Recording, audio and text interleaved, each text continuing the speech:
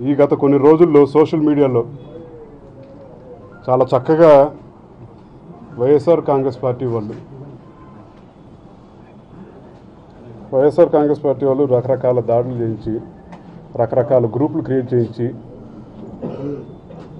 కొంతమంది బెదిరింపులు నేను చంపేస్తాం నీ అంతు తేలుస్తాం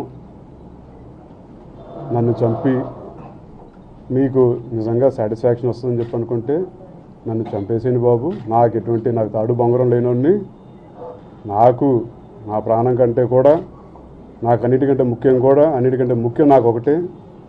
నా తండ్రి ఆశయం. నా తండ్రి పోరాడింది ఒక పార్టీలో ఉండి పోరాడినా సరే పేద ప్రజలు అందరూ బాగుండాలని చెప్పని పేద ప్రజలు పట్టాల కోసమని చెప్పని ఇళ్ళ కోసమని చెప్పని ఆ రోజు పోరాడారు. ఆయన ప్రాణం అర్పించారు. ఇది నెరవేరకుండా మీరు నేను చంపేస్తానంటే పర్వాలేదు బాబు. మీ- మీరు సాటిస్ఫై అవుతుందని చెప్పంటే పర్వాలేదు. మీరు అదే చేయండి సార్. నాకు ఎటువంటి ఇది లేదు అసలు అది.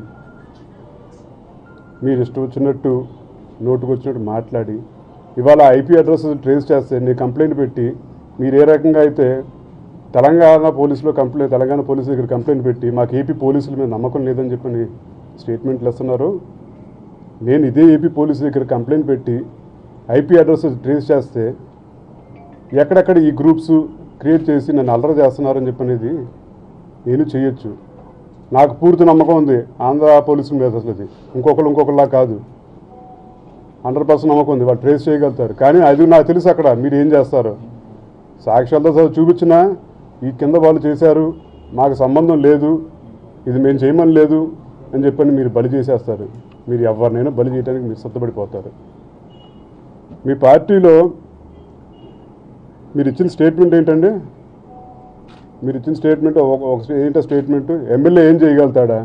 ఏం పేకగలుగుతాడా ఒక రేషన్ కార్డు ఇప్పించలేనాడు ఒక ఇళ్ళ స్థలం ఇప్పించలేనాడు అని చెప్పంటే రాజీనామా చేసిన బయటకు వచ్చాను నీ పార్టీలో ఇంకెందుకు ఉండాలి?